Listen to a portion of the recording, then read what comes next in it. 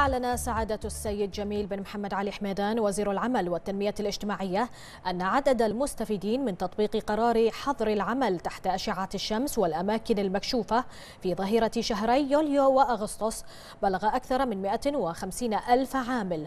مشيرا إلى أن البيانات الإحصائية أوضحت الالتزام العالي بقواعد السلامة المهنية وما تتمتع به أطراف الإنتاج في البحرين من حس إنساني وثقافة بأهمية مضامين هذا القرار الوزاري.